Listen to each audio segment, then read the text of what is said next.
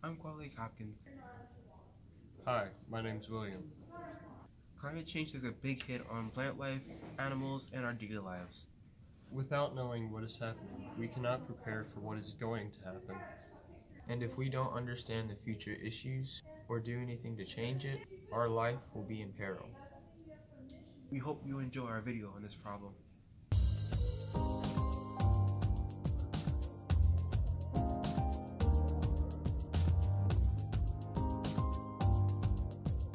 In March of 2017, nearly three years ago, a 500 mile stretch of the Great Barrier Reef had died in the previous years because of high water temperatures, an event that the authors put down to global climate change. In Australia this year, more than 10% of the area covered by New South Wales national parks has been burned in this season's bushfires, including 20% of the Blue Mountains World Heritage Area, it was recently shown that near surface temperatures of the southern hemisphere is positively skewed on the poleward side of the storm tracks and negatively skewed on the equatorward side. Skewness is a measure of the asymmetry between the positive and negative trails of the distribution which has implications for extremes.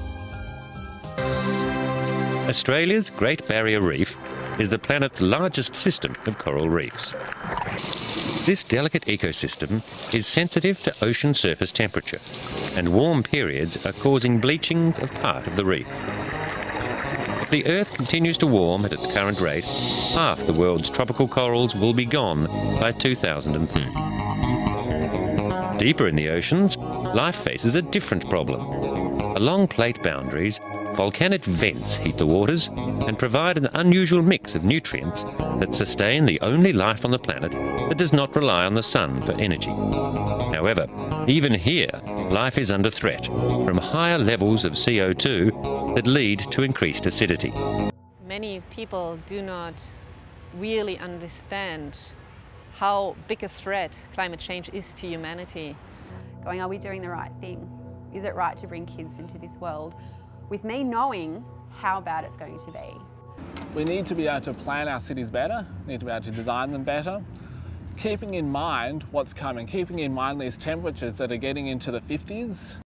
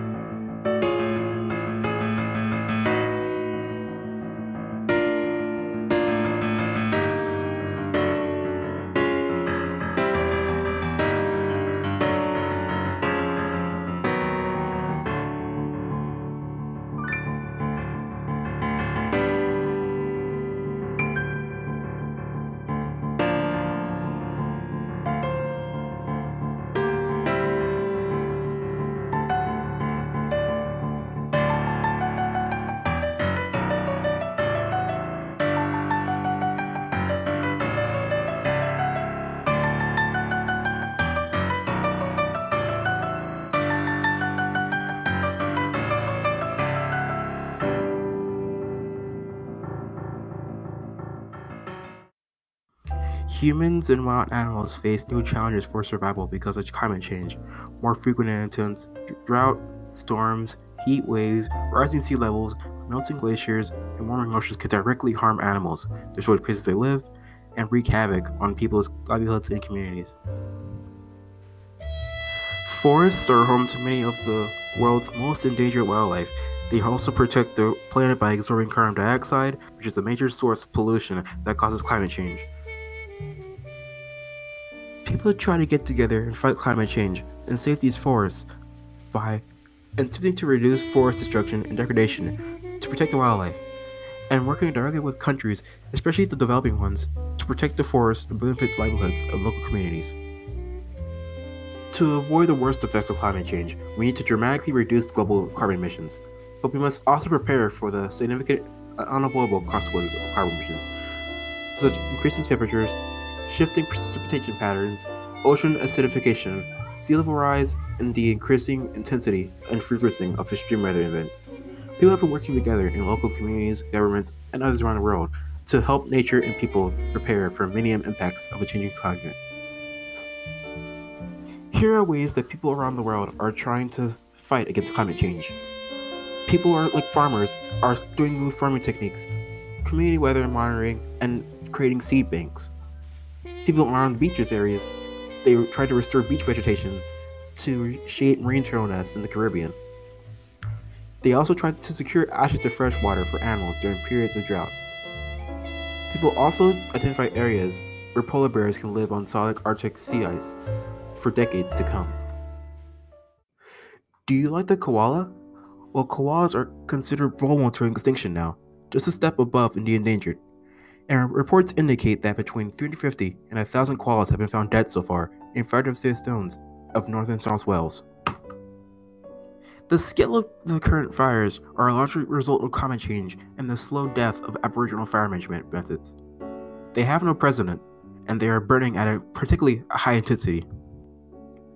Some trees in Australia are packed with oil. The trees are burning hot and fast because of this, sometimes exploding and sending sparks yards in every direction. It's only the spring in Australia, so in terms of the bushfire crisis, this is only the supporting act. It'll only get worse and worse as comes January February will become summertime, as temperatures continue and rise and drought is expected. As of right now, koalas are threatened by land development and food degradation because of the increased carbon dioxide in the atmosphere, which has diminished the nutritional quality of eucalyptus leaves. With their habitat being highly vulnerable, very little of koalas' habitats are being designated as protected area. Until the government does something in Australia, it's not going to get any better for koalas. In the meantime, the Koala Hospital of Port Macquarie in Sydney, Australia is actively rescuing and treating koalas. To date, they have treated at least 22 koalas and a number of each day.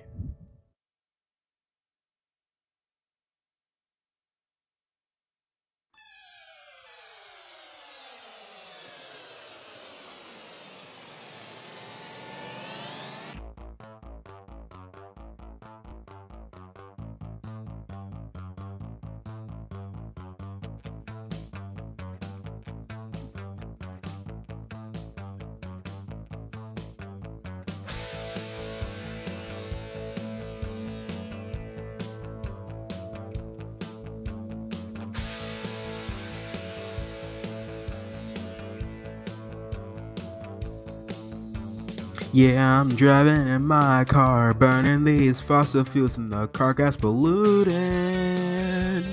Then I'm driving to the grocery store, throwing away these grocery bags. Is it any wonder I'm not recycling? Is it any wonder if I care at all? Well, my earth is dying, I got nothing to do and no day to do it. I could use energy wisely and stop wasting food and quit wasting water. Is it any wonder why I'm lazy? Why are people speaking with no care? If anything, I can stop using these plastic straws. It's taking a small step away. I can start reusing plastic bottles. It's hard to believe that I'm throwing them away. I'm cutting these plastic nets because fish are choking away, choking away in the seas. Carbon dioxide. Too much melting glaciers. Too much floods and fires. Human activities, from pollution to overpopulation, are driving up the Earth's temperature and fundamentally changing the world around us.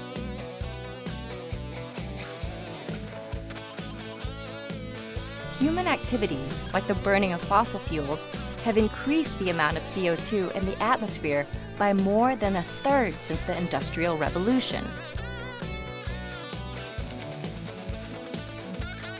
Too much carbon dioxide. Too much melting glaciers. Too much floods and fires.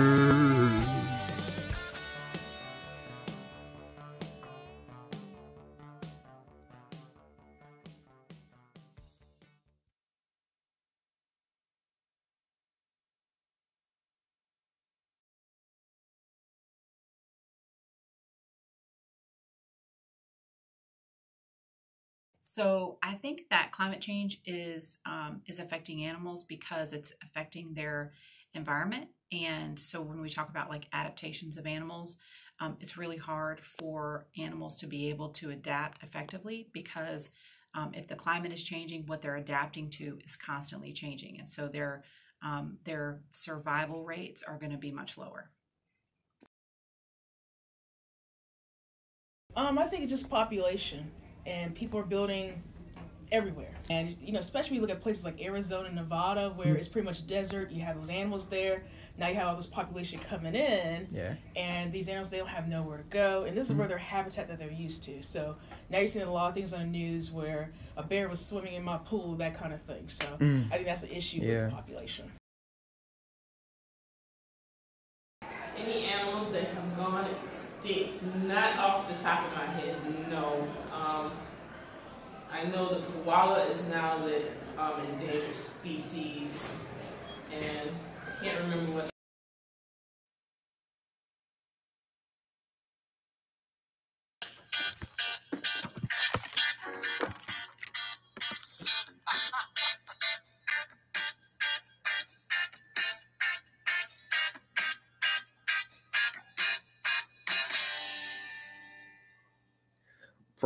Roxanne. And you don't have to take off the gas pipe. Why aren't you treating the earth right? Yeah, carbon emissions giving me a fright. Roxanne. You don't have to drive that gas guzzler tonight. Or take it to the shop so it sounds nice. It's like you don't care if it's wrong or it's right. Roxanne. You don't have to take off leaving gas in flight. Roxanne. And you don't have to pollute the night lights. Roxanne. Turn on your brake lights. Roxanne. Turn off the gas light. Roxanne. Just ride your bike. Roxanne. Turn off the gas light. Roxanne. Just ride your bike. Oh. oh.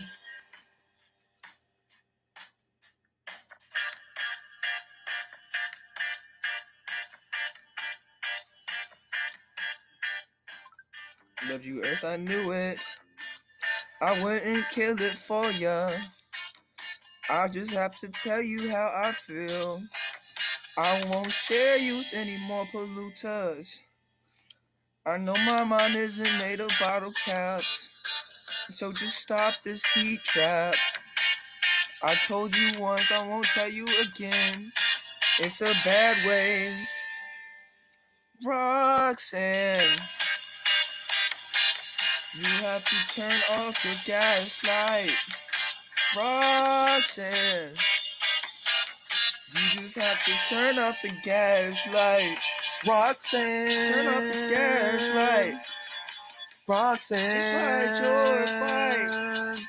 Roxanne. Turn off the gas light.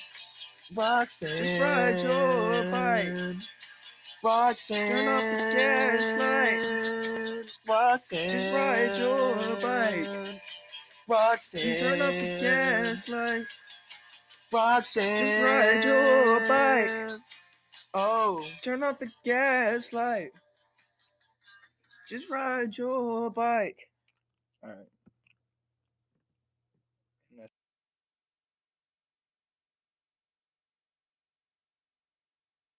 To avoid the worst effects of climate change, we need to dry, dry. Yeah. Man, This sucks. You ever go to the store and realize why it's why, why it's 99 and why it's like a full dollar? Like why? What's the sin at, bro? Sipping on my swag, my swag juice. Sipping on my swag juice. Poop farts. Poop farts. Poop farts. McDonald's McCafe poop sticks. Poop farts. Poop farts. Poop farts. Sipping on my swag juice. My swag juice. Sipping on it. Sipping on my. Sipping on my swag juice. My 99 cent swag. My 99 cent swag juice.